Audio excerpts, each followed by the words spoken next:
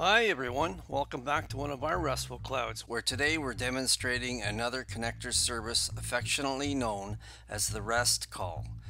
It's an external REST call, not only JD Edwards, but you can call any REST services in the world, whatever services are provided by JD Edwards Enterprise One, or a third party ERP, or a bank, or whatever is available.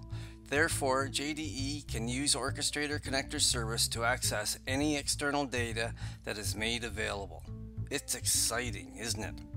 The best way to show you this concept quickly is with an example that we've created.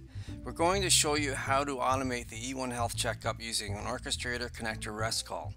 This tiny corner of this immense guide that we're showing you now will focus on the concept and the steps of how to configure it. Shown here is the health checkup summary. This should work first in the server manager and then only you can use an external REST call from the outside. Here's the overview of what's going to happen. The AIS scheduler is running in the background and at the predetermined time it runs the health checkup by calling the E1 orchestration. And within the E1 orchestration you have the connector service, the subject of this video, which calls the external server manager REST API which performs the health check and after that the orchestration calls the message service that determines which email address to send the health checkup report to. So let's try and test this and see how we get the email notification. Let's click the run button and see what happens. So the health checkups run and we check our email and yes we have the results of the health checks in our email. We can do a health checkup at any time without manual interruption to verify that all our services are working properly. You can configure it to only send a notification upon failure if you wish. For this test, we printed the result of each instance separately, and you can see passed, passed, etc. And if there was a failure, it would show here also.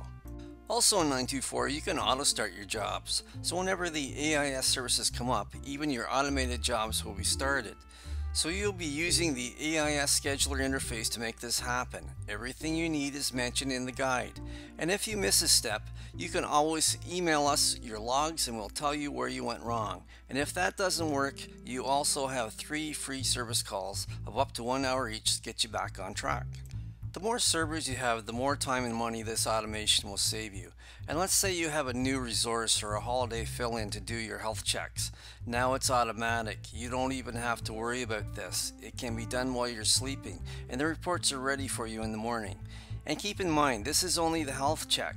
You can do this for any repetitive job. If you look for labor intensive repetitive jobs in your organization, you'll find them, and you'll be able to apply connector services to save time and money. This guide will make you money and end up costing you nothing.